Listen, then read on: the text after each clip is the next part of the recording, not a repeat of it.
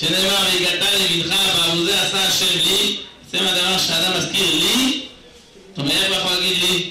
אם הוא יצא ממצרים, הוא לא יכול להגיד לי. אז מכאן רואים את החיוב שחייב אדם להראות עצמו כאילו יצא ממצרים. אז אם ככה, מדוע ממשיכה ההגדה שלא את אבותינו בלבד גאל, אלא אף אותנו גאל, שנאמר ואותנו הוציא משם. וכי מהרשע של ההגדה של הקטע הזה, לא ידענו שיצאנו מצרים שקדוש ברוך הוא גאל אותנו? הרי אנחנו אומרים עשה השני, חייב אדם להראות עצמו כאילו יצא ממצרים. אז הבנו שאותנו גם גאל, לא רק את אבותינו. אז מדוע יש כאן כפילות? יש עוד שאלה שאולי אפשר לחבר לדבר הזה, זה מה שאנחנו, אחרי הקטע הזה שאומרים בהגדה, אנחנו מגיעים לידי מסקנה. מהי המסקנה? לפיכך אנחנו חייבים להודות, להלל, לשבח, לפעל, לכנס ולהלל למי שעשה לאבותינו ולנו את הניסים האלו, ציינו בעבוד לחירות ובשיפוט לגאולה, מהפעל לבגדו וכו', ונאמר לפניו הילוקה. בדברי ההגדה אנחנו רואים שברגע שאדם מרגיש שהוא יצא ממצרים, המסקנה המתחייבת, המתבקשת, שהוא צריך להודות לקדוש ברוך הוא, שהוא עשה לנו את כל הניסים. אבל מי שיעיין ברמב"ם, בהלכות חמץ ומצה, יראה שלרמב"ם יש מסקנה אחרת. הרמב"ם שם כותב, בכל דור ודור חייב אדם להראות עצמו כאילו יוצא מצרים וכו'. לפיכך אומר הרמב"ם, כשהוא מסר כל אותה לילה צריך לשבת ולסבע בדרך חירות. הרמב"ם יש לו מסקנה אחרת לגמרי. פתאום הוא עבר למעשה אכילה. איך אתה צריך להתנהג בלילה? כמו איזה מלך. לשבת, דרך סיבה, הוא יושב ואוכל דרך חירות. איפה עוד על הקדוש ברוך הוא? הוא לא מזכיר בכלל. מזכירה לדברי ההגדה? אדם מרגיש שאתה צריך להיות השם בכלל. תגיד שצריך גם לשבת קצת כמו איזה... להרגיש את החירות. ומה אם הוא הודה לקדוש ברוך הוא? נעלם מדברי הרמב"ם בהלכה, לא מוזכר.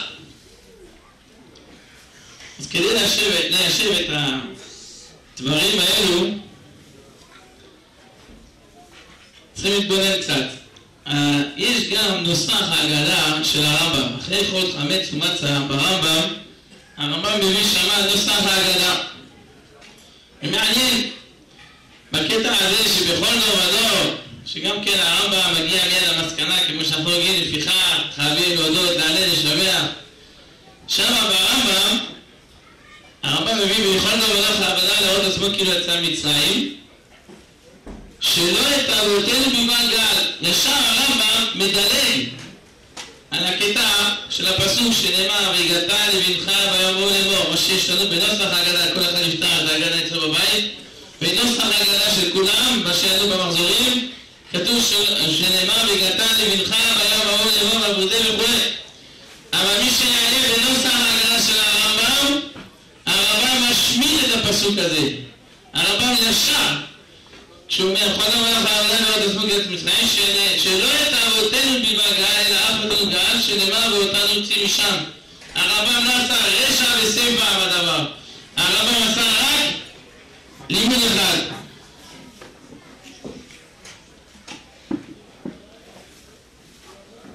מה ההבדל? יש הרבה בראשונים גרסאות, עבוד רעם וכו', איך גורסים בכלל? חייב אדם לראות את עצמו, או חייב אדם להראות את עצמו. מה ההבדל לראות את עצמו, להראות את עצמו? בעברית?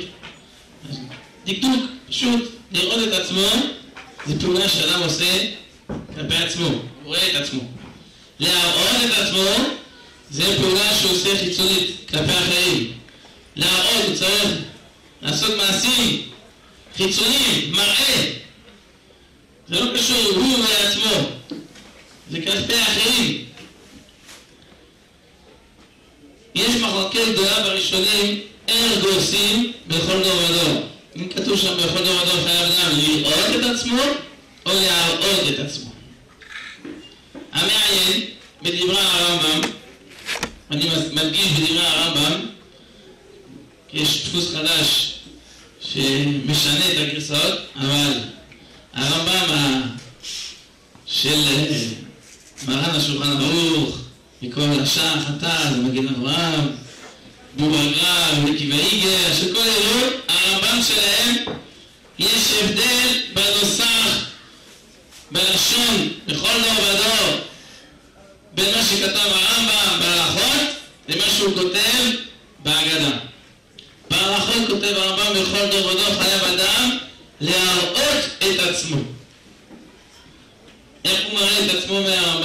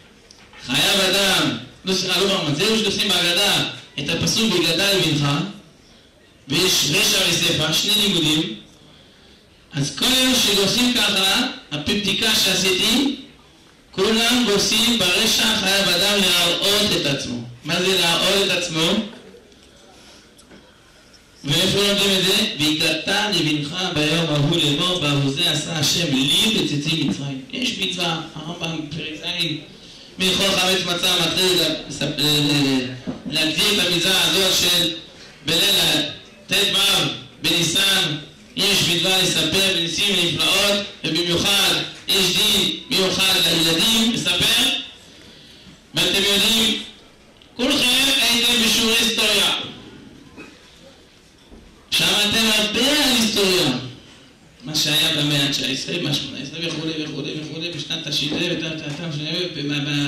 באלף החמישי, באלף הרביעי, אבל עם הזמן אתם לא זוכרים בכלל מה למדתם. למה? זה שיעור היסטוריה. אבל כשאדם, כשהוא בתור ילד, שומע סיפורים מהאבא שלו או מהסבא שלו, מה שקרה כל אחד בא ממדינה, זה במרוקו, זה בעיראק, זה באיראן, כל אחד מספר מה היה שם, זה נשאר. למה? כי זה לא היסטוריה, זה הוויה. אדם מספר מה שקרה איתו, שומעים סיפור, או רואים מעשה, זה לא אותו דבר. ראית, אתה חי את הדבר. אתה... כלי ראשון שמקבל ממך הוא כמעט כמוך, הוא בטוח שהוא היה גם שם.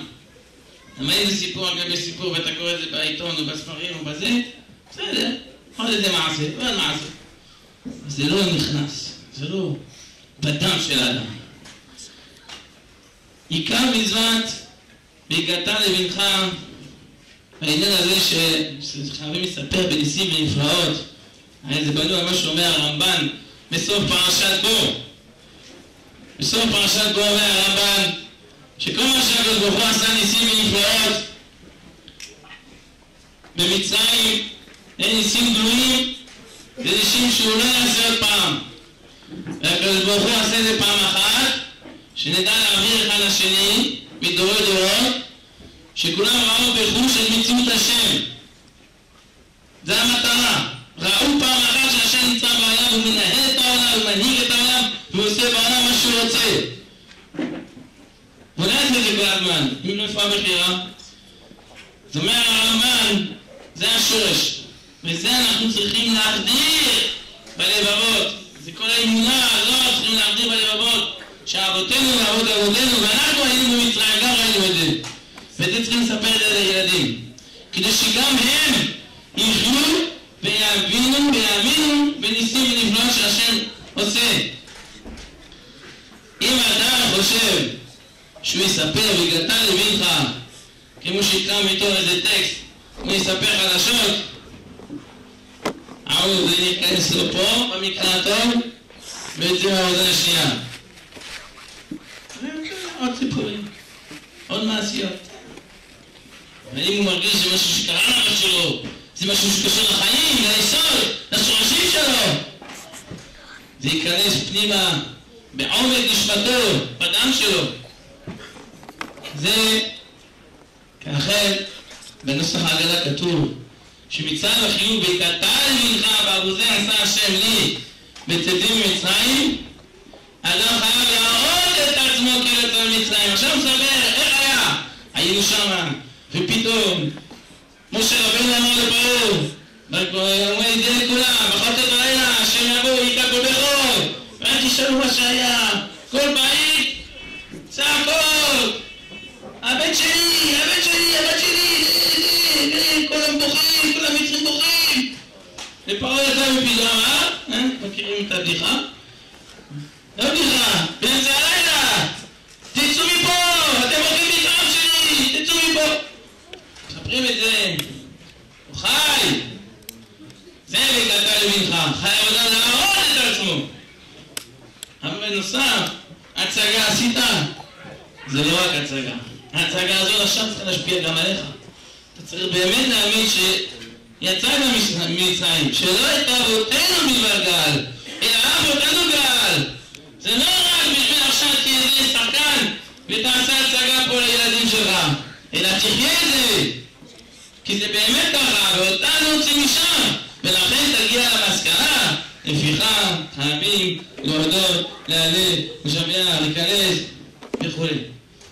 מה שיש, רשע וזפר שנראים לכאורה ככפילות וכיהודה והליכה, זה בכלל שני דינים שונים, שני חיובים שונים, שני הנהגות שונות, שני הבעיות שונות. יש חיוב שהגעת למנחה, ויש חיוב שלך כלפי עצמך. והשלך כלפי עצמך מחייב מסקנה להודות, להלל, לשבח וכו'. זה העניין הזה של הודעה לשם.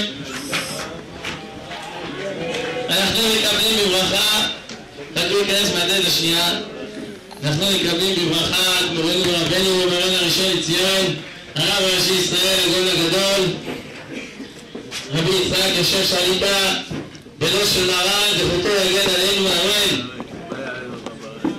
יעלה מלך תוסי שרתם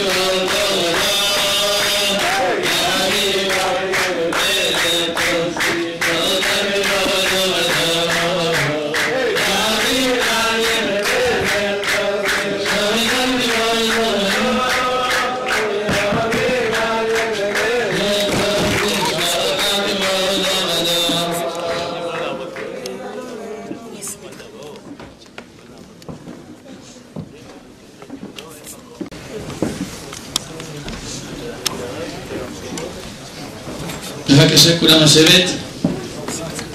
תקף נשמע את דברי הרב. כמו שאמרתי לכם בהתחלה, זה סימן המילתיים שאנחנו זכינו להיות הראשונים כאן בשכונת חמות ומגיע אצלנו להגיד אה, דבר השם ולמה אני אומר הקשר באמת למה זכינו להיות הראשונים כי לרב שליטה יש זכות ענק לכל מה שיש פה. כל מי שנמצא פה לא מכיר את ההיסטוריה, כמו רבי שליטה, נגיד את זה בקיצור בשתי דקות לפני שהרב ידבר, שתבינו על כמה הקדוש ברוך הוא מסובב את העניינים ותורה מחזרת על אכסניה. ציון, רבנים, אברסים, מוריי ורבותיי. כשה- כשהבן שלי, שיחיה, אמר לי שהראשון לציון מגיע, אמרתי לו, אני חייב לבוא ולהגיד כמה מילים. אם אתם נמצאים בבניין הזה, הכולל הזה, ברוך השם הייתה סייעתא דשמיא גדולה, זה בזכות הראשון לציון. אולי הוא שכח, אבל אני רוצה להזכיר. לפני אולי עשרים, יותר מעשרים שנה היה בפריז. הוא מסר שיעור, שיעור לפני כמה רבנים, ואני הייתי שם. הוא מכיר אותי, מכיר גם אורי שהבן שלי. אחר כך הוא אמר לי, תשמע, יש לך בן, ברוך השם, תעזור לו, שיתפתח בתורה. ככה יהיה גדול בישראל. ואני אתן הערב, איך אומרים, הפנסיה. קחתי פנסיה מוקדמת כדי לשבת וללמוד לעובדה ולשומרה. אני עכשיו לקחת על עצמי את זה, שמעתי להרב. שמעתי. אני אומר היום, יש לו חלק גדול בכולל הזה. זה העצה שנתן לי, והעצה זה גם ברכה, ברוך השם, עוז ברוך הוא יתן לו אריכות ימים, יאריך יום על מלאכתו, וזיכוי הרבים וכן לאמור.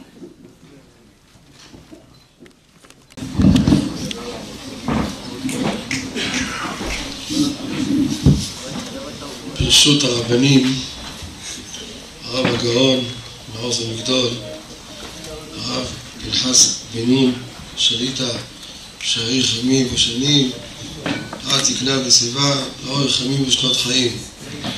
כבוד ידידנו, ראש הכולל, הגאון הרב אורי, השם ישמרו וחייהו, כבוד הרבנים הנכבדים, קהל קדוש. אני אומר משהו בהלכות הפסח, ונראה מה שיצא מזה, מה מסקנת ההלכה. ידועה המחלוקת בראשונים, חמץ שהתערבב לפני פסח. שישים, במאה, באלף, מגיע פסח. די גמרנו, זה התבטל, או זה חוזר בחזרה ומתעורר. כי חמץ זה פסח, אפילו באלף, אפילו במיליון לבתים. אז זה ממנה צריך לחזור עוד הפעם ולהתעורר. מה בכך שהתבטל לפני כן? לפני כן היה בשישים, עכשיו זה אפילו באלף לבתים. במילים אחרות, האם חמץ בפסח חוזר ונראה או לא חוזר ונראה? זה המחלוקת. דעת הרמב"ם, מעתיק אותו מרן לבית יוסף בסימן תמ"ב בבית יוסף וגם בשולחן ערוך שם, סעיף ד'.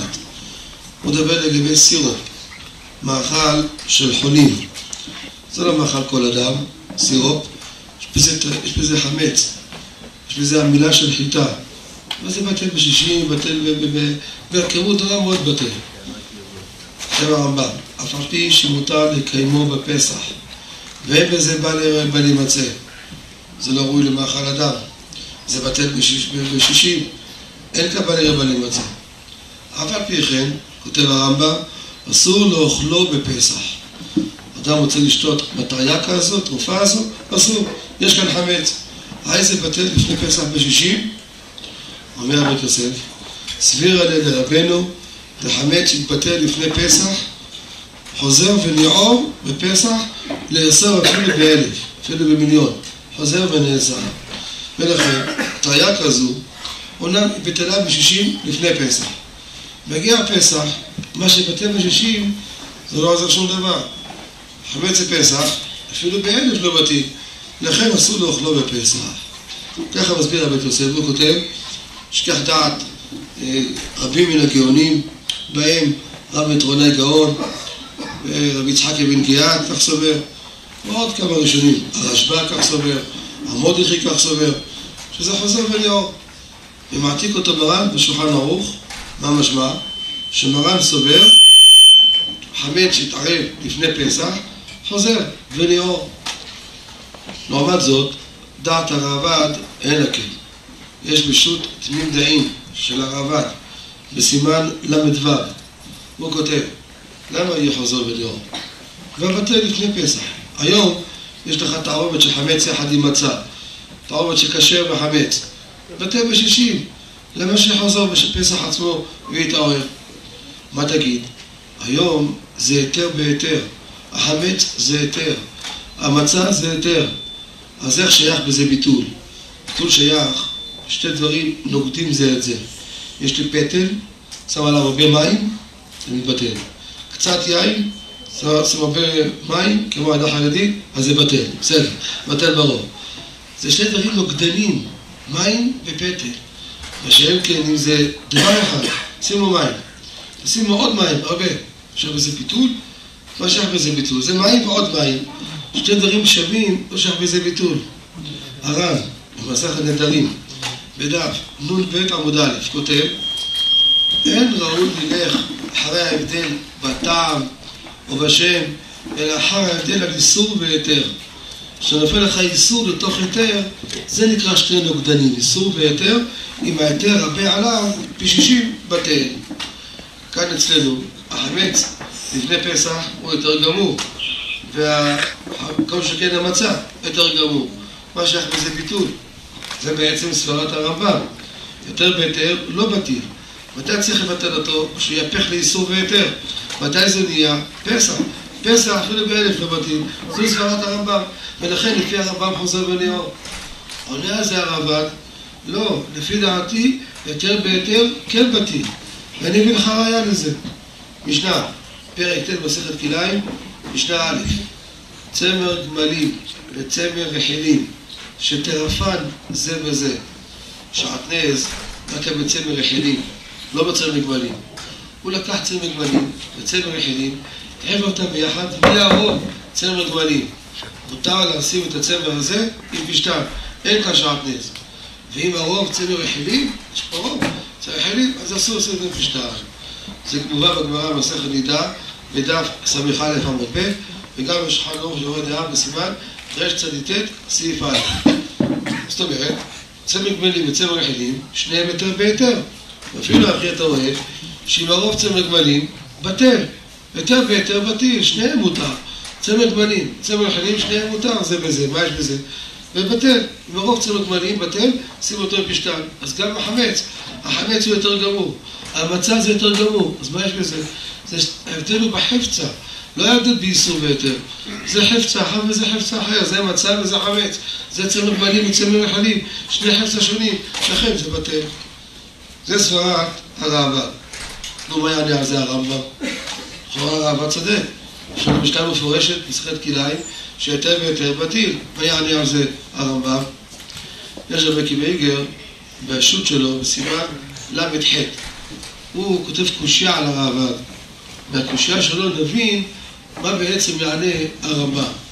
הוא מקשה כך, מה אתה מדמה צמר גמלים וצמר רחילים לחמץ? בצמר רחילים, עכשיו, ברגע הזה, אם אני ארצה לקחת צמר רחילים ואני אשים אותו עם פשטן, עכשיו, ברגע הזה זה יהיה שעטנז. הדבר הזה ראוי להיות איסור והיתר, עכשיו. חמץ, שעה כזו, שום פנים ואופן, הוא לא, הוא לא איסור. הוא יותר גמור החמץ. אז היתר בהיתר מוחלט, אין בו שום צד של איסור. מה שראיתי בצמר גמלים וצמר רחילים, עכשיו יש פה צד של איסור, מה? הצמר רחילים בתוך הפשטן זה יהיה שעטנז. מה אתה מדמה זה לזה? ככה הוא מקשה על הרמב"ם. זה יענה הרמב"ם. הרמב"ם, מה שמקשה, הגאון המקוויגר, יענה את התשובה הזו. אז מה יענה הרמב"ם? עכשיו חוזר כך הפוך. מה יענה הרמב"ם? יש כאלו חוגים שלומדים תורה, מה לומדים תורה? מסתכלים את השיטות. שיטת זה, שיטת זה, שיטת זה, ככה, בלי לפלפל, בלי להבין מה יענה זה, מה יענה זה, מה הראייה שלו, מה הפושע על פלוני, מה הסברה של השני. לא מעניין אותם הדברים האלה, אין להם תרית חדורייתא, יש להם את הסיכומי השיטות, עושים משבצות. כל דבר משבצות עושים. זה לא הדרך של התורה. צריך להבין. אמרנו עכשיו מה יענה הרמב"ם, יפה מאוד. נו, מה יענה הרמב"ם? לכאורה זה קושייה. איך אתה מביא ראייה בצמר גמלים ובצמר רחלים? מה הראייה? שם יש פה צד של איסור, עכשיו יכול להיות איסור ביותר. והחמץ עכשיו לעולם לא יכול להיות איסור. מה שישר מיקי ורגב. אותה קושייה הקשה פרי חדש בסימן תמ"ח. אותה קושייה שהקשה, מיקי ורגב הקשה פרי חדש. נו, מה אפשר לתרץ את זה? לכאורה אפשר לתרץ, לפי דברי הר"ן, במסכת פסחים, בדף ל' עמוד ב'.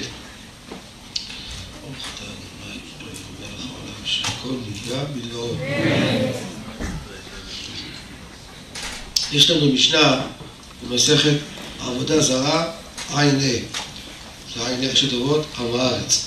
את המשנה הזו, מי שלא יודע אותה, הוא עם הארץ. זו משנה יסודית מאוד. הלוקח כלים מן העכו, לא שלוקח כלים מן הגוי. בלוע וזה טרפה, נבלה, חזיר, מה אוכל הגוי? דברים האסורים. קנה את זה ממנו ביד שנייה, חמש שקל. הביא לבית שלו, צריך להכשיר את זה. איך מכשירים את זה? אם השתמשתי בזה ביבש, רוב הפעמים, כמו תבניות, כמו סיר של עוגה, כמו שיפודים והשכלות, רשת שיש עליה בשר או ברזל, תשים בתוכו בשר ומצולים את זה על האש. ביבש השתמשתי בזה, בלי רוטב, דיבוד. השתמשתי ברוטב כמו קערות, חושב שלא, בהגעלה. זה דברי המשנה. בעמוד עמוד הבא, דף ע"ו, עמוד א'. הגמרא מביאה בית המקדש, היו צולים קורבנות, צלי אש. למשל, יום ראשון מקימים קורבן חטאת. צולים את הבשר. עובר על הבשר הזה, ועל מה שבלוע בתוך השיפודים.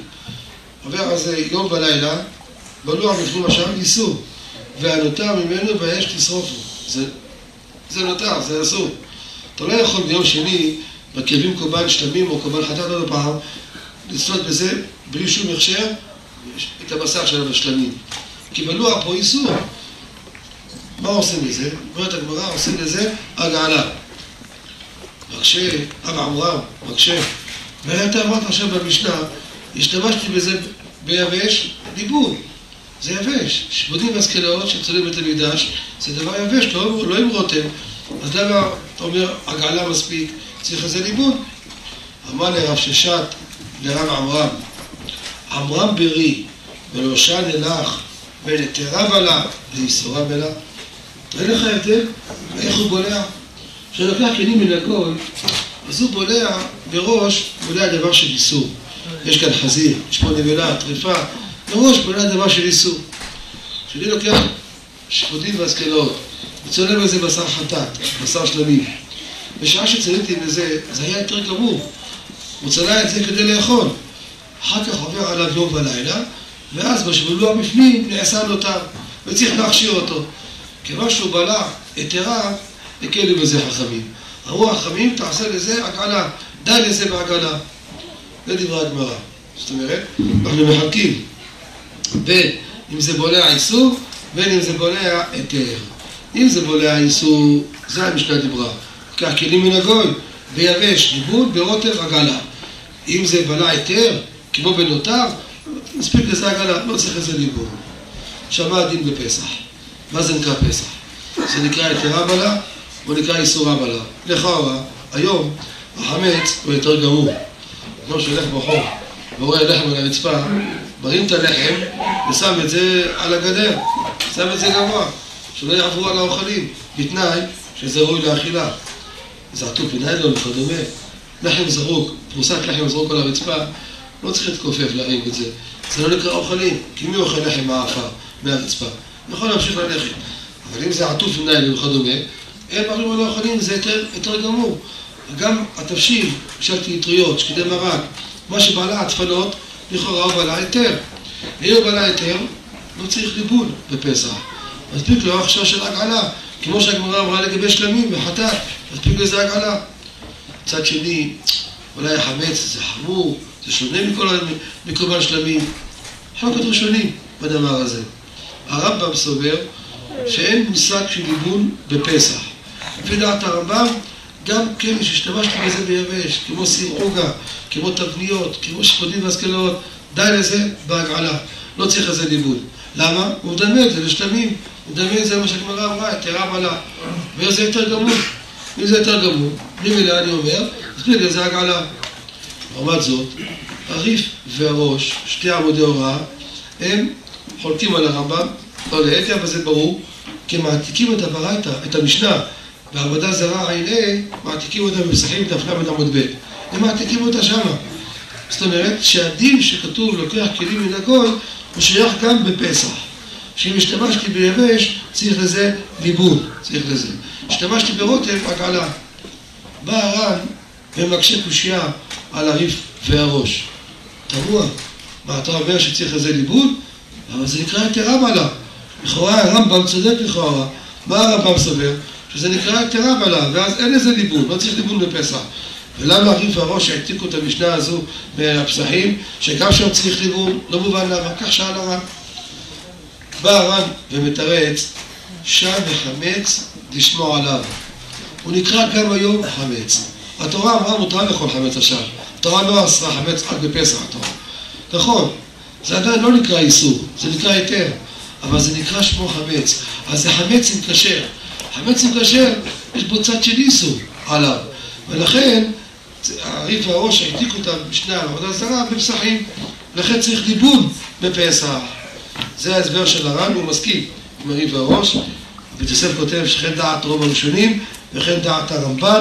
כך פוסק ההלכה בסימן תנ"א סעיף ד' שפודים והסטלאות בפסח צריך לזה ליבון.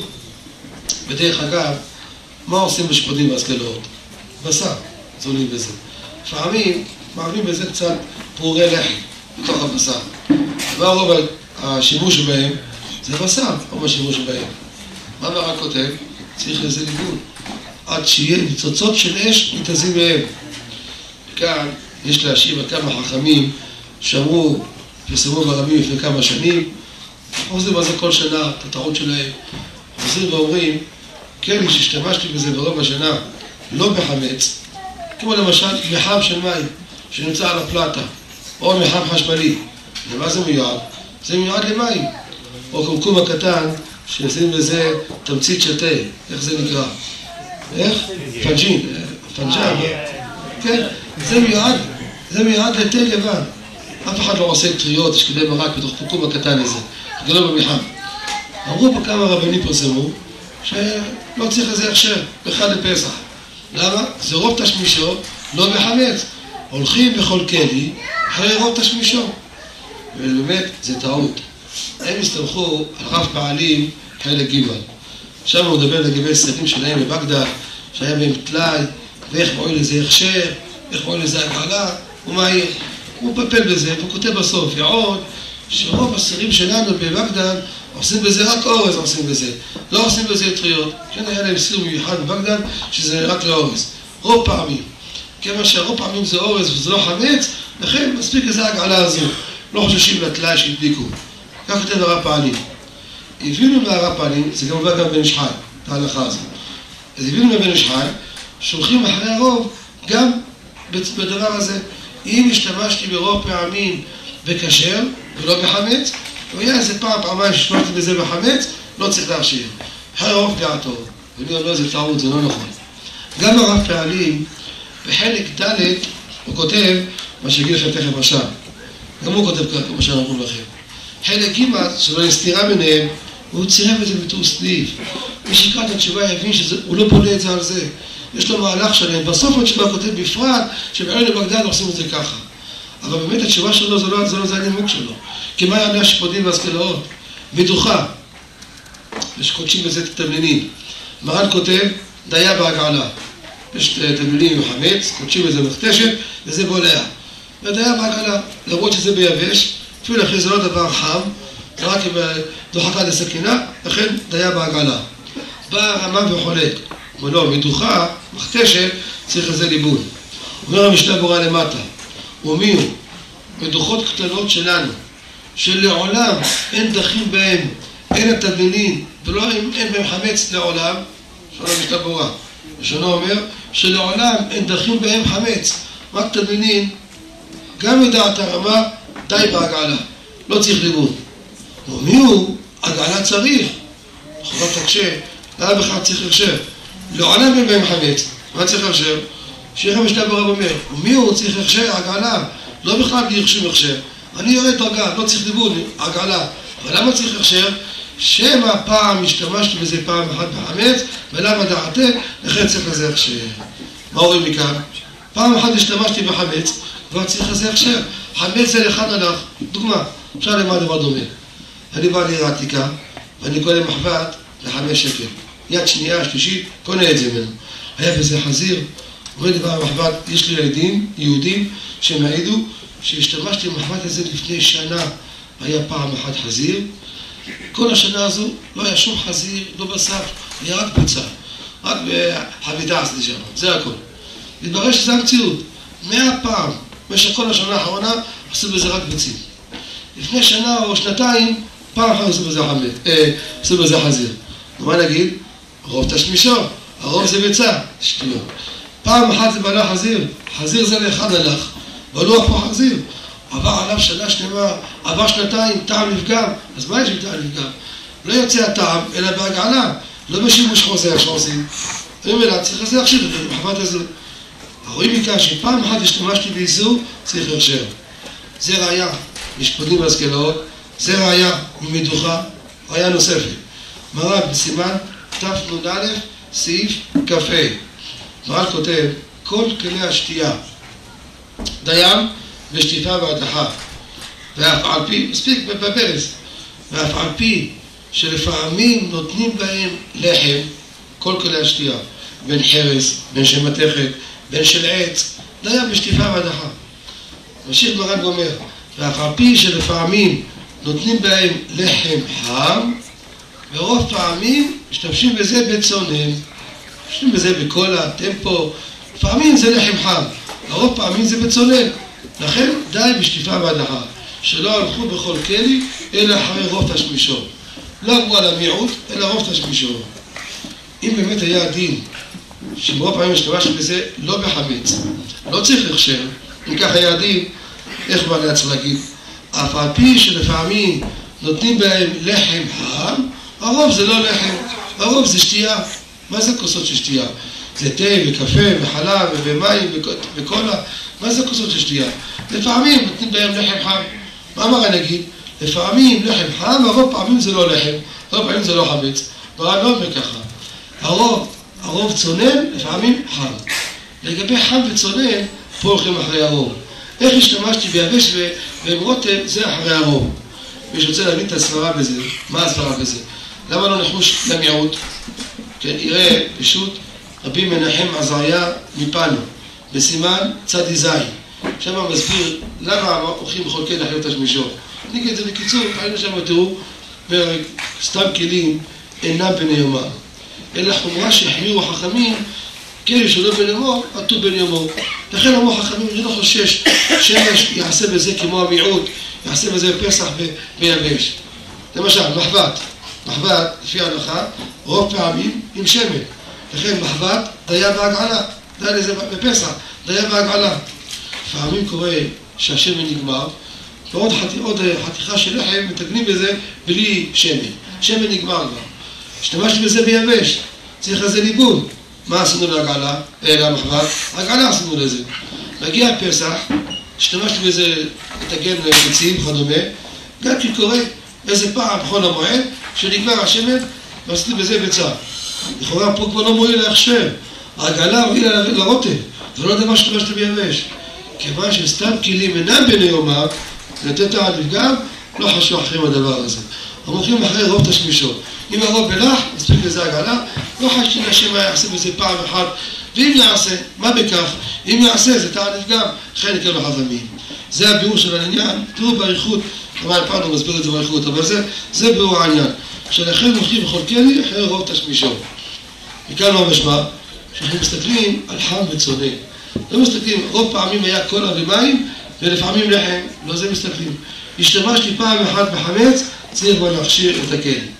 איך מכשירים? זה עוד שאלה. היה איזה רב אחד בבני ברק, שהוא חלק עליהם.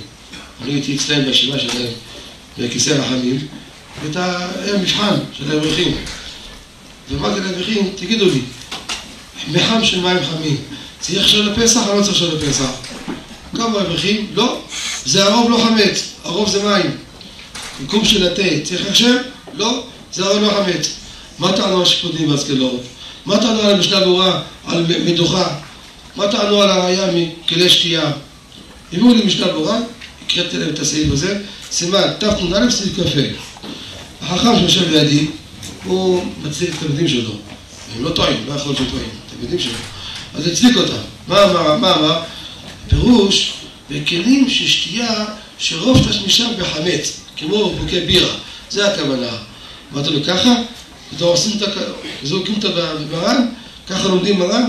מרן כותב, כל כלי השתייה, בין מתכת, בין חרס, בין של עץ, כולם דיין בשתיקה והדחה. מדובר בכלי שתייה שרוב תשמישה בחמץ.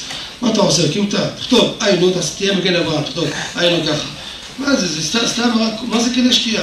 כלי שתייה זה תה וקפה וחלב וטמפו ומים, זה כלי שתייה. כזו הקים אותה לעשות? אמרתי לו את זה, אבל הוא לא קיבל. לא ייתכן. איתו אתם יודעים שלא, זה לא ייתכן. ולכן, מבחינה נקודה, הם כן טוענים. המחם כן צריך להכשיר אותו, כמו שאמרתי. הקומקום של התה כן צריך להכשיר אותו. כי רוב תשמישו זה איך השתמשתי, ביבש ובלח, או השתמשתי בכלי ראשון, אירועים בכלי ראשון, בצונן, זה רוב תשמישו. אבל אם יש פעם אחת בעולם זה חמץ, חמץ זה, היכן הלך, לכן צריך להכשיר אותו. איך מכשירים? המחם, שפעים שמים עליו קוגל, או בורקס, אז המכסה בעלה מהקוגל, בעלה מה, מהבורקס, אז הוא נהיה חמץ. יש עדים מהמים, העדים מקבלים את הבליעה, נופלים לתוך המים, אז כל הכלי כולו קיבל טעם של חמץ. עושים את זה מדי פעם, שבתו, או לחם למעלה, או קוגל למעלה, זה דבר שזה עשוי. אז הכלי הזה בעלה חמץ. בעלה חמץ, צריך להכשיר אותו. אם זה חשמלי, ולא אותו מלא מים, תרתיח אותו, שיגלוש מים לצדדים, זה הכשר. אם זה לא חשמלי, אם מחם רגיל, אתה עושה לזה הגעלה. הקומקום של התה, תנקה אותו טוב טוב, כמו כל הגעלה, ותגעיל אותו. אבל צריך להכשיר אותה. והראיה שהבאתי בעיקר זה שיפוטים והשכלות. שרוב תשמישם זה לצטות בשר, לצטות כבד, לא לחם. לפעמים יש בזה לחם. צריך לזה הכשר. מה הכשר לזה? כמו שאמרנו, צריך לזה אבי ישחי? אני אענה לך, ואם אפשר שאלות, אחר כך, אבל אני אענה לך. רבי ישחי בעצמו הסברתי, אמרתי, בחלק ד' רב פעלים, לא זוכר איזה זמן, כמו מרן אין, שכך יהיה לו זיכרון, כל דבר, לזכור סימן, סימן, כמו מרן, הרב השאיר חלל בעולם. מי יכול ככה לזכור? בזמן האחרון, מרן ביקש מאחד העוזרים שלו, תקשר אותי דודו אפל, הוא נכנס מחר לבית סוהר, יהודי שמחזיק תורה, יש לו כל יום גדול בתל אביב, לפייס אותו. הרב, אני אלך להביא פנקס, לראות את המספר שלו. לא צריך. המספר שלו 03, איפה הוא יודע? אכפת לך, תקשר אותי אליו.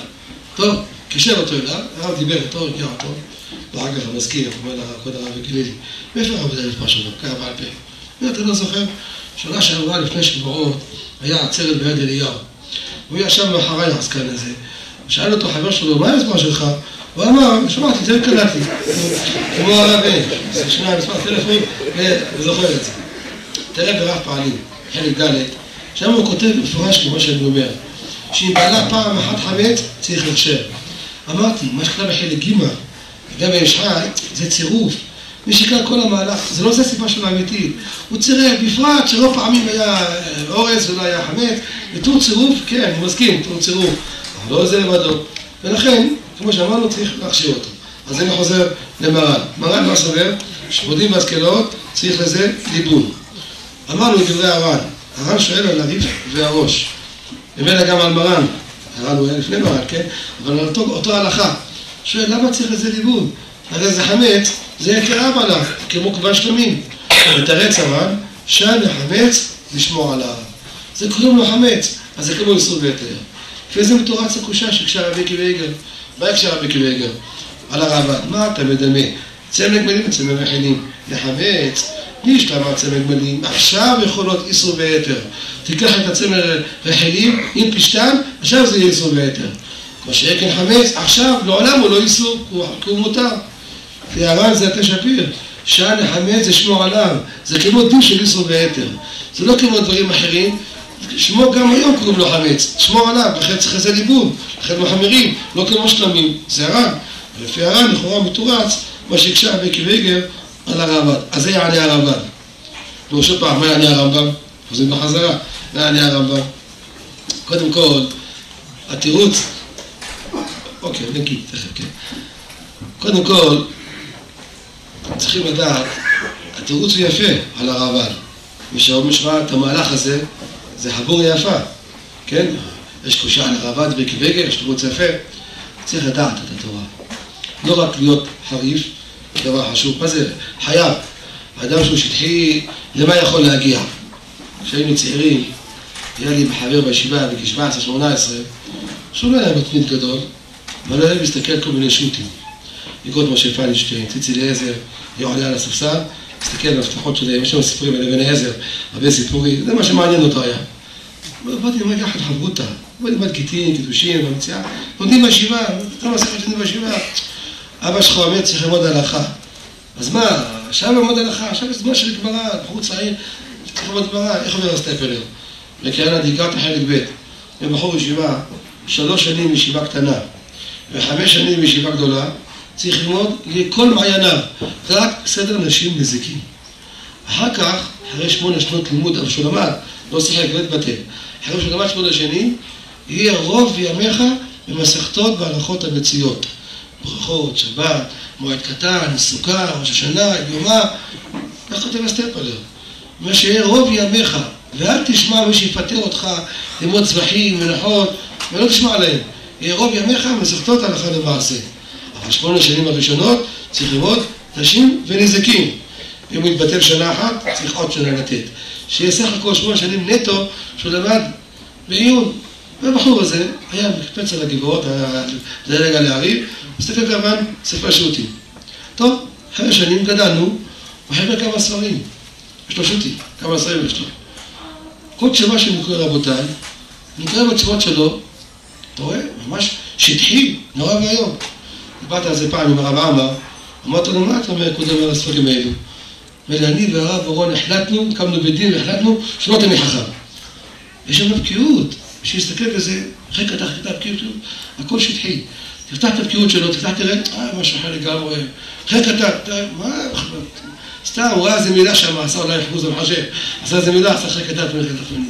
שטחי מאוד. אדם צריך לראות בעיון, אין ספק. אי אפשר ככה למידה מימד בשטחיות. זה אם כל חטאת, זו סכנה גדולה מאוד, מי שלומד הלכה בשטחיות, זה נורא ואיום. לפני כמה שנים, הגאון הרב יהודה עדס הגיע לבית של מרן. הוא אמר לו, אני מבקש כבוד הרב, אל תדבר על לימוד ההלכה. הבחורים לא מבינים את כבודו. תפסיק לדבר על זה ביזדי. מה, למה? יודע מה הסיפור. יש לי בחור בישיבה, בחור מצוין, עילוי, שקדן, בעל עווני, חזק מאוד. ויום אחד, כמו שנה בוקר, הגיע לבית המדרש, פתח כף החיים והתחיל ללמוד כף החיים. כף החיים זה ספר טוב. כל ההלכות שם, הכל בצורה מסודרת. האשכנזים מקנאים בנו, אומרים כיף החיים, יש לכם כיף, הכל יש לכם מסודר. הוא יושב בישיבה במדרש, לומד כיף החיים. הרב יהודה עדס, הוא היה דרכו, הסתובב, לא יודע מה שזה היום, אני זוכר אותו כשהיה ראש ישיבה שלנו, אנחנו למדנו אצלו, הוא היה ראש ישיבה שלנו, הוא היה מסתובב בבית המדרש, בין החסנים, מדבר לכם בלימוד, היה מנגן, ורואה את הבחורים שלימדו ברית חדאורייתא, בכל בלימוד, היה מקפיד שלימדו חברותו. כל אחד לברוק איזה מחברו, ולומדים לבד, אין אווירה, זה בית, קברות האווירה. צריך להיות חברותות, שזה יהיה אווירה של לימוד. עובר, רואה את הבחור הזה, לבית כף החיים. מה אתה עושה? אני צריך לדעת הלכה, אני עם הארץ.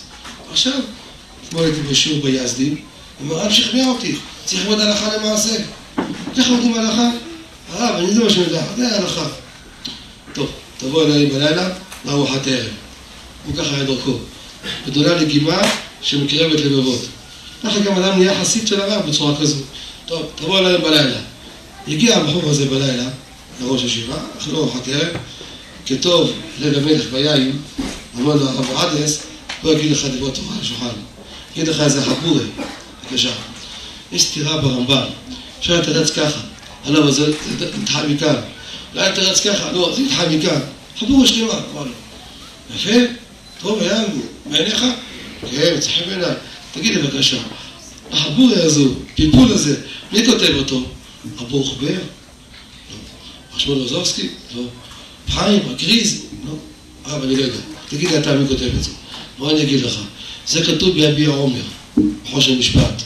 רק את כל, חלק כתב, חלק כתב, הכל מחקתי לך, רק את המהלך הבאתי לך. אתה רואה? איך לומדים הלכה? אתה שומע ליביע עומר? איך לומדים הלכה? יודעים הגמרא, עם הראשונים, לפלפל, מה יענה זה, מה יענה זה, מה הסברה של זה, מה ההגדרה של זה. לא סתם, מותר, אסור לעשות משבצרות, וזה, ככה לא לומדים הלכה. השתכנע. זה מספר את זה על עדס, מספר את זה למרן. אני מבקש ממך, יותר לדבר על זה. אבל למה? אני אדבר ואני אפרש דבריי. אני אגיד שלמוד ההלכה עם היסודות, עם הגמרא, עם כל המפרשים. מרן היה מגיע אצלנו לכולל לחזון עובדיה בשנת תשל"ג, במשך אולי עשרים שנה. היה מגיע קבוע לכולל אצלנו, לחזון עובדיה.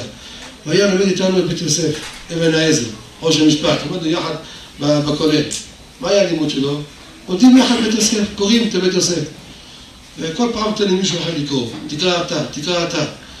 שם הדפוסים של פעם, לפני 40 שנה, לא כמו היום. אין פסיקים, אותיות שבורות. לפעמים, הולכים קוראים את זה, לא מפסיקים נכון.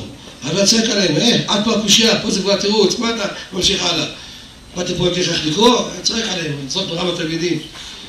היה אחר כך, סבבי, כדברה בפרק קטע צולי. מה אמרו עכשיו? אמר, הרב, פתחתי. מה לא פתחת? ככה עומדים בית יוסף, כל גמרא שמביא, כל דבר שמביא, קרום, תפתח ותראה מה כתוב שם. עומדים הכל בסודיות. ושווה בשטחיות, זה נורא ואיום. עם כל זה, צריך גם לדעת. לא מספיק עיון, לא מספיק ההבנה, צריך גם ידיעת התורה. אדם שלא יודע תשובות, יכול לטעות. הנה דוגמה, מקרה שלנו.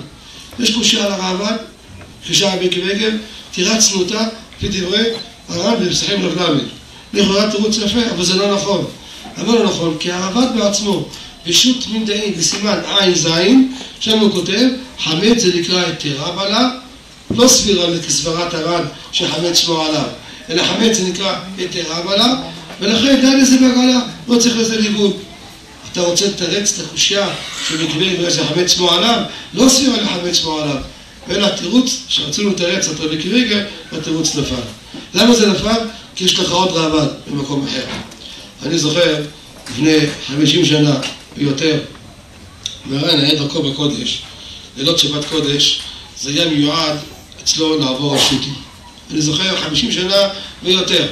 היינו גרים ברחוב אלקנה, בית של ביטון. בית שלא היה שם העסקה מרכזי, לא היה אבן, בית קר מאוד, וגם הקבלן שהיה אז, עליו השלום, את זה לא טוב, נכנס רוח פתוחה אותו בין החלון לפני, בין החלצים, היה בית קר מאוד. היה מגיע מישיבת פורת יוסף, בעשר בלילה אחרי הדרשה, לוקח מעיל של חורף של פעם, מעיל עבה, שם על הראש שלו, ויאללה, יושב ולומד. עד שתיים, שלוש בלילה, בא לומד, כל פעם תופס שוט אחר. בעיון, קורא תשובות של הרמב"ם, תשובות שוט הריף, שוט הראש, שוט ממדעים, תשובות הגאונים, נודע ביהודה, ביקי וגר, רב פעלים, כל פעם ספר יושב עליו, גומר אותו, וקורא אותו לאט לאט. קורא, קדמו לך לדבריו, שחזר בדעתו, כן, נמשיך הלאה. פעם הרב סיפר לי, הוא הרב בדרך כלל לא אוהב לדבר על עצמו. יש אנשים, כל הזמן תדבר איתם, 95% מהשיחה שלהם זה על עצמם, אני לא 100%, על עצמם. גם כשמספידים מישהו, כמה אהב אותי, כמה קירב אותי, אז בעצמך אתה אתה מספיד. יש אנשים, איך הטבע שלהם, רק על, על עצמם, כבוד כבוד. הרב לא ידע טוב בדבר הזה, דבר על עצמו. אבל בני זקנותו, קצת לפעמים משפך לפנינו. הוא סיפר לי פעם עם שיח פתאום, הוא תדע, עד גיל 35, כל הש"ס, בבלי וירושלמי, שמעו טוב, כל הש"ס, בבלי וירושלמי, וכל הבית יוסף בשולחן ערוך, היה מצוליים נגד עיניי, כדמותו צלמו. הייתי יושב בכורסה, סוגר את העיניים, ומעביר דף דף. מי שיש לו מחשב, יודע מה זה PDF, כן? כל עמוד PDF, הופכים עמודים. וככה, הייתי יושב, בסדר ברות, צלחת שבת. וכל הש"ס, וכל הבלי בירושלמי בבית יוסף, ואחרי גיל 35, קצת נחלש לי הזיכרון. לפי המדרגה שלו כמובן, כן? ירד לי הזיכרון, ופחות... אדם צריך לדעת, לדעת שמות הפוסקים. ואדם לא יודע, כל הכבוד שהוא חריף, מה זה שווה? אבל צריך גם חריף צריך שיהיה. כי בלי חריפות, שטחיות, זה אוי ואבוי. צריך גם את זה וגם את זה, לשלב את זה. לא כל אחד מצליח לשלב דברים כאלו, אבל מרן, זכר צדיק לברכה, מי כמוהו ששילב את זה. שיצא הבי עומר, חלק א', לפני 60 שנה בערך. מרן ראה את הרב מבריסק מטייל בחוף דוד יני. הוא היה גר ליד, אדיסון, שטראוס, הוא היה גר שם. מול האדיסון הוא היה גר. והרופא אמר לו, הוא היה חולה אסמה, שצריך בערב, לפנות ערב לטייל קצת, ללכת ולבוא. הרב רואה אותו מטייל, רץ מיד לבית, הביא ביום חלק א', פעם הביא לו את זה לרב ריסק בתנא. מי אתה? אני אביא לך פורת יוסף. טוב, תודה רבה. אחרי שבוע, הרב היה אצל הגאון מצ'יבין. הגאון מצ'יבין היה גדול הדור. אצל האשכנזים הליטאים, יש להם מסורת של גדולי הדור. היה להם את הגאון האחייעזר, גדול הדור, אחר כך היה להם את הגאון החזוני שהיה להם, הגאון מצ'יבין, אחר כך הסטייפלר, המשך, יש להם, זה עובר בשרשרת עובר. וכולם מתבטלים אליו. לא כמו אצלנו הספרדים. אתמול הייתי בבני ברק, שבת, אחרי התפילה בא אליי רב אחד, אני לא אגיד את שמו, רב חשוב מפורסם. והרב יגיד לי, למה אצלנו הספרדים ככה? כל אחד חולק על הרב, חולק על הרב, מה זה? תראה אשכנזים מכוונים את עצמם שלהם. טוב, היום זה קצת השתנה, כן? אבל באופן כללי, רואים כמה שהם מכבדים. הרב מבריסק היה גדול הדור, וגול מצ'יבין היה גדול הדור. הרב היה מקורב לגול מצ'יבין הרבה מאוד. הוא פתח את הישיבה שלו בחוף פנינה, חוף חנה, חוף חנה, הוא אמר לראשי הישיבה, לרב שהיה כאן בחוף פנינה, שכחתי את השם שלו, הרב שניאורסון, הרב שניאורסון, אמר לו, כל שאלה שיש לכם, להשמיע בצ'יבין, שאלה בהלכה, מי שיהיה המורה ההלכה שלכם, השכן שלכם, הרב, מרן. הרב היה גם בחול אלקנה, ואשכנזים, חסידים וצ'יבין, כל דבר, לא רק חסידים, ירושלמים, כל דבר, מי שיפסוק לכם, זה מרן. הוא הכיר את הרב והעריך אותו מאוד. אחרי שבו פגוש, הרב פגוש אותו, ותגיד, מה עשית לרב מבריסק? לא עשית לו כלום. אתה שיגעת אותו, מה עשית? לא עשית כלום. נתת לו מתנה בי עומר. אתה יודע מה היה? אחרי שהלכת, הוא רץ לבית שלו, פתח את אבי עומר, הוא נמצא בבריאות שלו, הוא חייב לישון טוב, הוא חייב לנוח, הוא הולך לישון. ישב כל הלילה על הספר אבי עומר, הוא עבר כל הספר, ואומר, לא ידעתי שיש בספרדים כזה גאון, הוא לא התפעל מהבקיאות, הוא התפעל מה, מהעיון, מתוך השורות, ואף על גב, בתוך איזה מילים, הרב פה דוחק קושייה פה, עולה על התשובה, העיון בתוך השורות, בין השורות. בספרים הראשונים של הרב זה יותר בולט. בספרים האחרונים כבר הרב היה בזקנתו, פחות זה בולט. אבל חלק א', חלק ב', חלק ג', ד', אתה רואה שם בתוך השורות את העיון הדברים. איך התפעל מזה הרב מבריסק. צריך לדעת גם את הבקיאות וגם את העיון. זה משלים את השני, אי אפשר זה לבד או זה לבד. טוב, אז אמרנו עכשיו, הרמב"ן, סימן ע"ז, כותב שזה נקרא היתר הבנה. אז התירוץ שתירצנו את הרמב"ן, נפל פליטה בבירה. צריך לתרץ תירוץ אחר.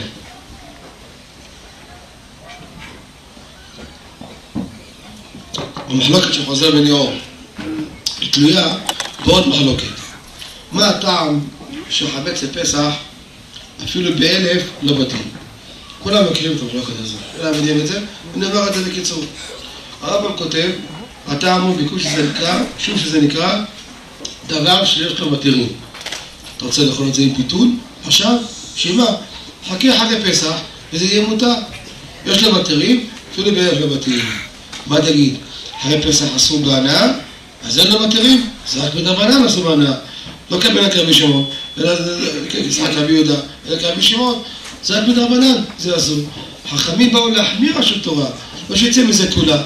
ואז זה נקרא דבר שיש לו מתירים, לדעת הרמב"ם. התוספות, מסכת חולין, בדף צ"ז עמוד א', דיבור המתחיל עם הרבה. הם כותבים שהטעם הוא משום חומרה וחמץ. התורה החמירה, כל מחמצת. כרת תכרת, בל יראה בל ימצא. התורה החמירה בזה, אבותינו הלכו בעקבות חכמים, לכבוד התורה. אמרו צריך בדיקת חמץ, החמירו. אמרו אפילו באלף, אפילו במיליון, לא בתים. המשנה מסורת בעבודה זרה. ואלו אסורים ואוסרים, הגמרא שמה, בכלל זה חמץ. חכמים החמירו גם בחמץ, שאפילו באלף לא בתים. למה זה חומרה דחמץ? יש שני טעמים. א' כמילה, מה הדין בערב פסח בצהריים?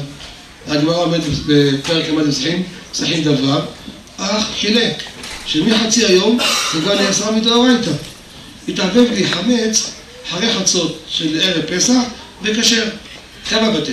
בטל בשישים או בטל אפילו באלף? דינו כמו פסח או זה דין אחר שלו? מחלוקת. לפי התוספות זה דינו כמו כל האיסורים, בטל בשישים. כי כל האיסור בגלל חומרת החמץ. מתי חומרת החמץ? בסדר והלאה. פסח. ערב פסח אין בעל רבה למצר, חוץ מדעת רש"י, רק אין כרת, כל מחמצת, זה פחות חמור. לכן אני אומר, בטל בשישים. חומרת החמץ, פסח עצמו. הרמב"ם סובר שגם בערב פסח לא בטל אפילו באלף, לטעמי הזה. כי הרמב"ם סובר שהטעם של דבר שיש לו מתירים, יש לו מתירים, אז גם בערב פסח יש לו מתירים. חכה אחרי פסח. נמצא, שלפי דעת הרמב"ם, חמץ בחצות לא בטל אפילו באלף. לפי התוספות, בטל בשישים. מרן, משחן רוח פוסק, כמו התוספות. סימן תפ"ז. אם מתערב חמץ בערב פסח, בטל בשישים. רק בלילה, אפילו באלף לא בטיל. זה מרן פוסק. עכשיו לפי זה, נבוא. יש לנו תערובת של חמץ וכשר. אני השבוע שעבר הייתי במאפיית מצות של יהודה. הלכתי שם לראות, תענוג, ממש. איך השתכללו המכונות. לפני 40 שנה, אנחנו שם יחד עם מרן, זכר צדק לברכה, עם הרב מצון אבא שאול, עם הרב ג'ולטי. מה שהיה אז, מה שהיום, זה שני עולמות. איזה הקפדה, איזה ניקיון. וממש צורה נקייה לחלוטין. אבל כמה שנקו, ובדקתי וראיתי. יש למטה, מכונות למטה, שם הבצק לא מגיע שם, עכשיו לא מנקים, לא שייך לנקות שם. יש שם חמץ, על הרצפה יש חמץ. שעושים לחץ אוויר, לנקות את המכונה, רוב האוויר שעושים, לפעמים פרור אחד מלמטה יכול לעלות, דבק בזה שרשרת, באיזה מקום. כמה שינקו, כמה שיעשו. בתוך מיליון מצות לא ייווצר שיהיה פרור אחד של חמץ. מתי עושים את כל זה? פסח עצמו, לפני פסח. פסח עצמו לא אופים מצות. אני זוכר לפני 50 שנה בערך, הגיעו הרבה עולים חדשים ממרוקו, פרס ומדי, עיראק, ולא ידעו כמה דתיים יש. ועשו את המצות, באמצע הפסח, חול המועד, אין מצות בחנויות. אנשים רוצים לאכול.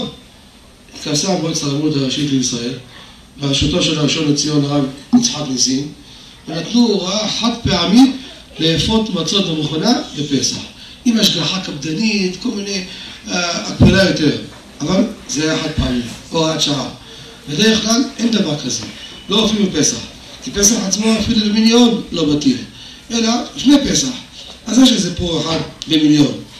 אני אומר, אין הרבה הבדל היום למצות יהודה, ירושלמי, כל מיני בד"צים למיניהם, אין הרבה הבדל. אולי יש הבדל, שבמצע של יהודה, יש, צריכים להגיע לסברה של לא חוזר וליאור, בין אמור ובין אמור, צריך להגיע לסברה הזו, אין הרבה נפקא מינה. אני זוכר בזמנו, יודע איך היום, אלפרין היה עולה יקר מאוד, ובתל אביב לא היה ניתן להשיג אלפרין. הרבנית עליה השלום, היא הייתה נוסעת במיוחד מתל אביב ונגרים. הייתה נוסעת במיוחד מתל אביב לירושלים, לקרוא בצד אלפרין, ומרן היה אומר לה, בשביל את טורחת? נוסעת עד ירושלים לקנות אלפרין, בשביל מה? ארצות אביב ראשון לציון זה כשר, יהודה זה כשר, אין הרבה הבדל ביניהם. אבל היא ככה נגעה תמיד, אה בסדר, תראה, שתרגיש טוב. והייתה נוסעת במיוחד, קונה מצות אלפרין. מי שיש לו כסף, מי שדיין, שיעשה את זה, שיקנה מצות אלפרין, יש לו כסף. מי שאין לו כסף, שיקנה מה שבזה יותר. וזה זה קשה לחלוטין, כמו שאמרתי לכם. זה אולי פרו במיליון, זה אולי פרו בעשר מיליון. בוא נגדיר את זה מיליון ומאה אלף. מה נפקא מינה? מה, יש נפקא מינה? שני צריכים להגיע לסברה שלא חוזר מיליון. לכן אין בזה הרבה יותר, לא חוזר וחזרה. עכשיו, ערב פסח בצהריים זה נהיה איסור והיתר, נכון? ואז, לפי דעת מרן, לפי דעת הפוסקים האלו, תוספות, בתי בשישים. אז נכון, היום במצות יש חמץ. היום זה היתר והיתר מוחלט. מה שיש בזה ביטול. זה מותר וזה מותר, בזה ביטול. מתי זה מתבטל? מגיע פסח בצהריים, ואז בטל בשישים, אוטומט. בבית שלך, במפעל, מה שיש במאפייה, בטל בשישים. למה יהיה חוזר בנאום בלילה? בשביל מה? כבר בטל כבר. לרמב"ם, מיד שנהיה איסור בהיתר, מיד זה נהיה אפילו באלף הבתים. לכן חוזר בנאום. סברת הרמב"ם, היתר בהיתר לא בטיל. עכשיו לא בטל, נכון? מתי צריך לבטל אותו? שזה יהיה איסור בהיתר. מתי זה נהיה איסור בהיתר? פסח בצהריים. מיד, איך שנהיה איסור בהיתר לפי הרמב"ם, זה באלף לבתים. לפי דעת תוספות, ומרן פסק כמו תוספות, שזה נהיה איסור בהיתר, מתי זה? פסח בצהריים. ואז בטל בשישים. לכן לא יחזור מנהור. יוצא לפי זה שמרן השולחן ערוך שחמץ יתערבב לפני פסח לא חוזר מנהור. כדבריו בעדיה, בסימן תמ"ז, סעיף ד'. התורה כותב כך, בלשון הזה: אם נתערב חמץ בערב פסח ובטל בשישים, אינו חוזר מנהור. ויש חולקים. כל המודים, כאן אליו, סתם ויש, הלכה כסתם. איך מרן פסק? שלא חוזר בנאור. למה? מרן לטעמי הזה. מרן סובר, בסימן תמ"ז, באותו סימן מרן סובר, שחמש תערב לפני פסח בטל בשישים, אז למה יהיה חוזר בנאור? היה שמו בישראל איסור והיתר, התבטל זה וזה, למה יהיה חוזר בנאור? אז מרן מסתדר. אבל אף אחד לא שואל אותי, מה עם מרן בסימן תמ"ב, לגבי תרי"קה? הנה הוא שואל, מרן מעתיק את דברי הרמב"ם. מה אמר הרמב"ם? תרי"קה אסור לאכלו. הסביר רבי יוסף, הסביר עלי לרבינו שזה חוזר מנאור. אז זה סתירה ממרן. ברור שבכל סתירה, כל קושייה, יש תירוץ. מקושייה לא מתים. יש איזה אחד ראיתי שכותב בהסכמה לאיזה ספר. אנחנו יהודי, יהודי יקר, כן, אבל בדבר הזה מבחינת כבודו הוא טעה. נמשך אחרי אחרים. כותב בהסכמה לאיזה ספר. שאלתי באין אינטרס סתירות מרן. מרן היה זקן, היה כבר מבוגר מאוד, והשחרנו מתחבק כשהוא היה זקן, היה קצת צנילי, חס ושלום. ולכן יש סתירות עם מרן, יש סתירה עם מרן, אז מרן היה זקן. החוק כותב. יום שישי אחד הגיע העובד ואז לבית של מרן. לפני שבת הגיע. דופק בדלת, דחוף דחוף. לא, נכנס למרן, הרב, תדבר על זה בלוויין, תדבר על זה ביזדים, תראה מה כתב זה בהסכמה שלו. מרן היה דבר כזה. הרב ראה את זה, ראה את השעה מתבטא, ביטויים חריפים מאוד. הוא רצה לדבר על זה, נכנסתי אני לעניין, ואותו רב התנצל, שהוא יתקן למהדורה השנייה, אז הרב לא תקף אותו ביזדים. אם לא, לא היה יושב ממנו שריד ופנית, היה יושב ממנו. המאבק הזה יותר אמרה לבית יוסף. אגב, זה לא נכון עובדתית. בואו נראה איך, איך אמר עובדות. מרן סיים את הבית יוסף בשנת שי"א, וחיבור השולחן ערוך הראשון, אור החיים, נתחבר בשנת שי"א. מרן לבד, אין שם את הרמה. לי יש את הספר הראשון שנתפס, הדפוס הראשון שנתפס בחייו של מרן, יש את זה אצלי. מאיפה השגתי את זה?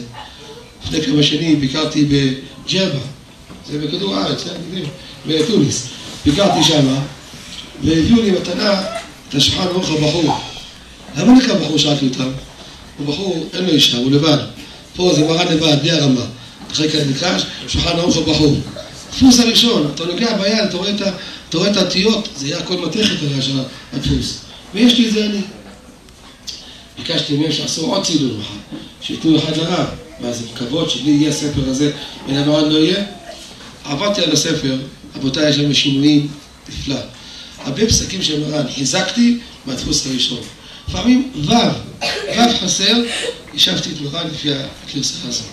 ודחיתי הרבה פוסקים שיחלקו על הרב בגלל הגרסות האלו. זו גרסה מדויקת ביותר, שנת שי"א. אחר כך יצא שער כרכים, שט"ו, נגמר כל הדפוס של השולחן ערוך. אור חיים, אבן העזר, חושן משפט. הכל נגמר. הכל יש לי את הכל. כל השולחן ערוך, הכל יש לי. דפוס הראשון, יש לי את הכל. לפני כמה שנים התקשרו אליי, עכשיו מתוניס, הרב, תשמור טוב על הספר שלך. למה? להם היה העתק אחד לי, העתק אחד להם. בא אליהם איזה אשכנזי אחד, שאוהב עתיקות, גנב להם את זה, לקח להם את זה, אז כנראה אין להם. הרב תשמור על זה. שמעתי. תשמעו אצלי, ש... אבל יש שם הרבה שינויים, בין נפקא מינה בהלכה, גם בבן העזר, דברים נפלאים, שאתה רואה שינויים, שאתה יכול להגיע להלכה בצורה יותר מדוקדקת. אז מרן גמר את השולחן ערוך בשנת שט"ו. בואו נראה באיזה גיל מרן היה אז. נעשה חשבון. הוא היה זקן או לא היה זקן? בואו נראה. מרן נפטר בשנת של"ה. הוא היה בגיל פז, 87. תעשו חשבון. משל"ה עד שט"ו, כמה שנים יש מאז? 20 שנה. ועד שנת שי"א זה 24 שנים. זאת אומרת, מרן כתב את השולחן ערוך שלו, התחיל לכתוב אותו 24 שנים לפני פטירתו. ואחרי השולחן ערוך, רבותיי, הוא חיבר את הכסף משנה על הרמב"ם. מישהו שהוא זקן וסנילי יכול לחבר כסף משנה על הרמב"ם? ואחרי השולחן הוא יחבר חלק מבדק הבית, כדי לנוכח בכמה מקומות. בדק הבית חבר לסורגין, חלק לפני השולחן ערוך, חלק אחרי השולחן ערוך. יש לזה ראיות. אז אומרת, מרן היה בשיא שכלו עד ימיו האחרונים. שו"ת אבקת רוכל, זה הספר האחרון שמרן חיבר אותו. הספר הזה אפשר לומר לנו שזה סנילי, גמרות, תוספותים, ראשונים, אחרונים, מה זה? דבר כזה להגיד, עובדתית זה לא נכון. העובדה שתמיד יש סתירות עם מרן, האחרונים טורחים לשם את מרן. במגן אברהם, אותו זהב, משח, סמה, כולם מיישבים, מה אתה מיישב? הר"ן היה זקן. יש כאלה אנשים, היה איזה ראש ישיבה אחד בבני ברק, הוא פתאום נהיה בקיא בכללי הפסיקה. הוא ראש ישיבה, יודע, לא מדרש בקושי, אז מה אתה אומר כללי הפסיקה? כדי להגיד להם שיעור, רבותיי, לא לסמוך על שולחן ערוך, אין דבר כזה, מרן היה כך וכך. הוא ראה את ההסכמה הזו, הוא ראה, והשתמש בזה. עכשיו, אני הבאתי את זה בעין יצחק. אחד התלמידים פיקח בקיבוץ, היה לו עין יצחק תחת השולחן, תחת הסטנדר, מסתכל, מיד הוא ראה מה אני משיב על זה, מיד אמר לו, סליחה כבוד הרב, התפלת לשני זו וזו, אחר כך נתפס כסף משנה, אחרי זה התחבר. איפה אתה יודע על זה? מה יש לך שם? עכשיו אני אצחק, תן לי את זה. אני מחרים לך את זה. מחרים לו את זה. בא, רוצה שבת, הרב שלך, היה לי כסף. כמה היה לך? 40 שקל? קח, שלם לו את זה, ספר הרים. למה פחד שהם יגיעו את רבתו, שהם יגיעו את הטעויות שלו? הוא לוקח להם באף גם, את מכל מקום שאנחנו עוברים, זה לא אומר להם. איפה? תורה אמת כטיבה. אתה חפש אחר האמת. תראה מה, מה זה באף גם, תמשיך הלאה, בכל מקום, תמשיך את הכל. לצערנו הרב, היום לא כולם מיעוט, כן? ברוך השם רובם בסדר, כן? יש איזה מיעוט מסוים, בני ברק בעיקר, שלא מחפשים אחר האמת. מחפשים אחר הנגיעות שלהם, לצערנו הרב. אדם לוקח את רגע, את המקום מקום הוא לא אומר אותו, פשוט זה גניבת דעת. תפתח, תראה מה, אני עניתי על זה אחר כך. הבאתי מה שהוא כותב, אותו חכם בהסכמה שלו, ועניתי על זה בצורה שלא נכונה, הדברים לא נכונים. מי שכתב את זה, זה היה דבר שמואל אבואב, כתב את זה. ועניתי לו שמבחינה לכבודו, זה לא נכון, הטעו אותו, דבר שמואל אבואב. אמרו לו דברים לא נכונים, שמואל אבואב. לכן זה לא נכון הדבר הזה. אז הסתירות בשולחן ערוך צריך תמיד לחפש יישובים לסתירות האלה. מה היישוב בסתירה הזאת? יכול להמשיך, כן, ברור. לא יכול להגיד לי להפסיק, להגיד, כן?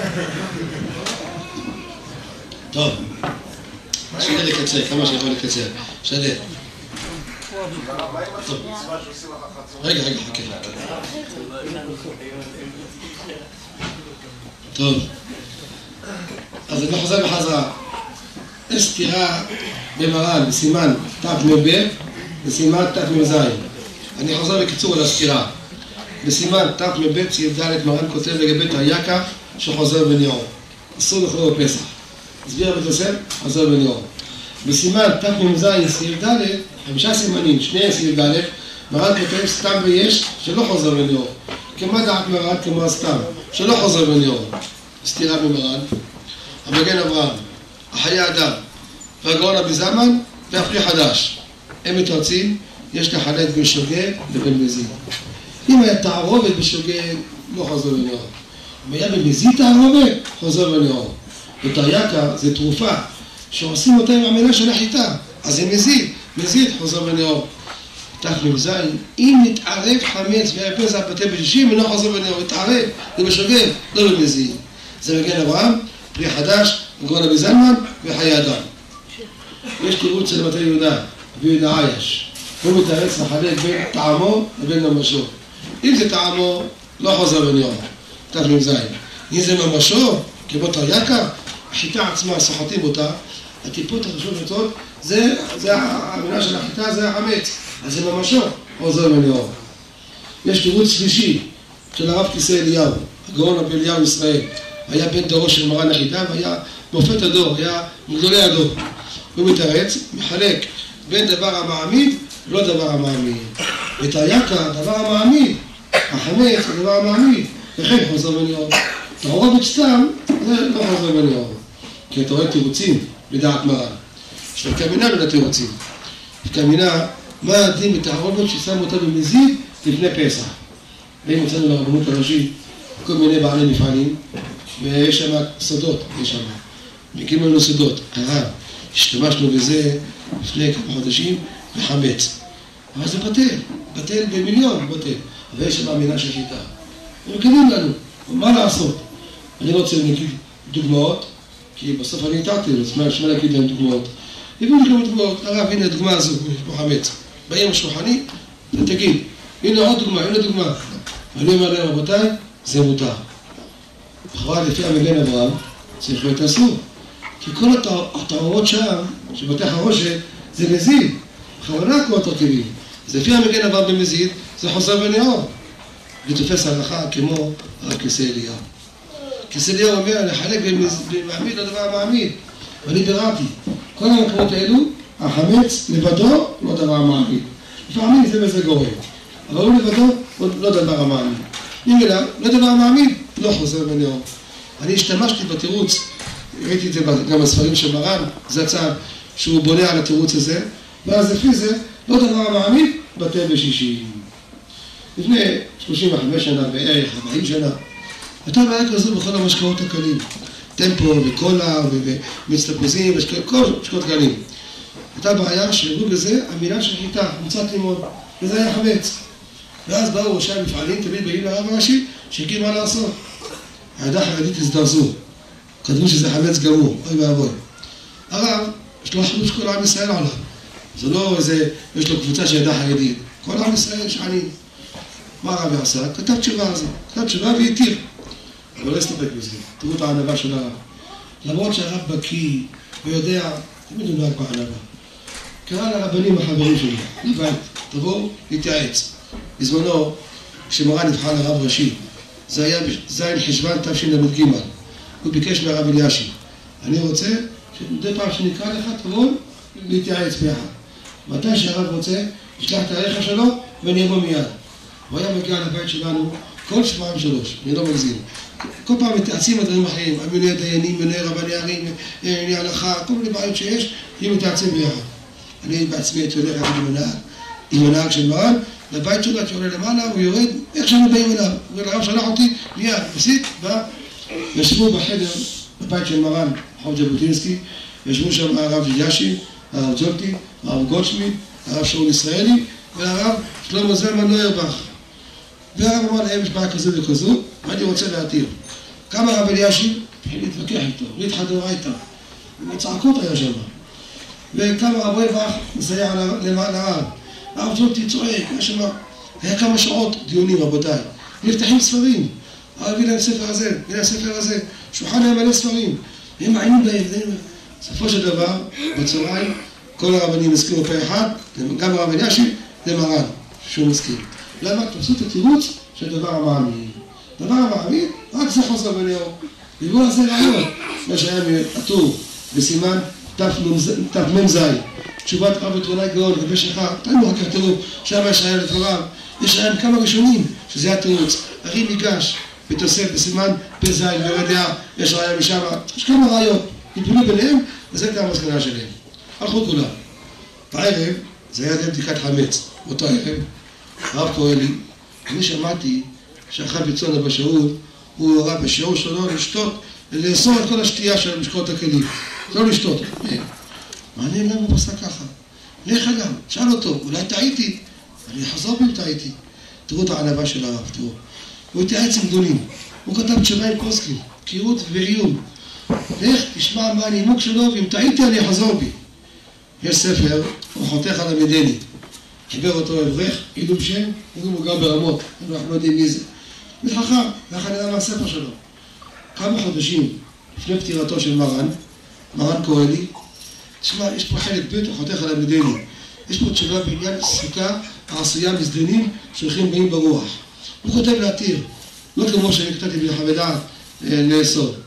תראה מה הנימוקים שלו, אולי טעיתי, אם טעיתי אני אחזור בי.